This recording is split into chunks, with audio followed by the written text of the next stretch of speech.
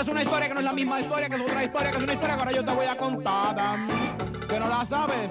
Ey, yo lo sé, por eso estoy aquí para decirte.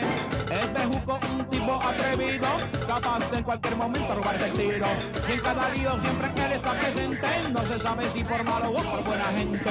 Al pobre flaco le pasó un día que tuvo que mudarse de donde vivía, pues un amigo muy malo que tenía, juro lo y allí fue que conoció como por accidente a una familia que hasta el presente gritan, patalean y hacen una vuelta y no ven cómo salirse de esta hipoteca que es el gran bejuco, es el gran bejuco, es el gran bejuco.